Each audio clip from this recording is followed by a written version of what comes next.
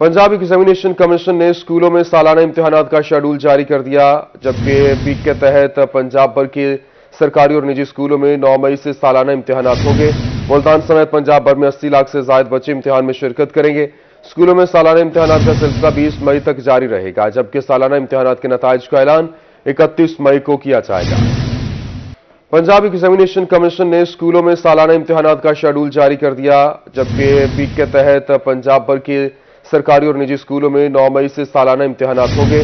मुल्तान समेत पंजाब भर में 80 लाख से जायद बच्चे इम्तिहान में शिरकत करेंगे।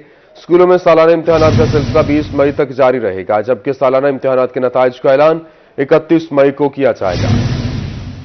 पंजाब एग्जामिनेशन कमीशन ने स्कूलों में सालाना इम्तिहानात का शेड्यूल जारी कर दिया, जबकि पीक के तहत पंजाब भर के सरकारी और निजी स्कूलों में नौ मई से सालाना इम्तिहानात होंगे।